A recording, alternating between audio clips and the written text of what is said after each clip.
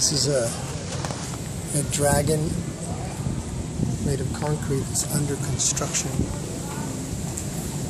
You can see the wire and metal framework and cement. This is all cast cement. And then it's getting more cement, this kind of uh, clay-like cement added on top of it. And then it's smoothed out and finished to a very smooth detail. And it looks really amazing.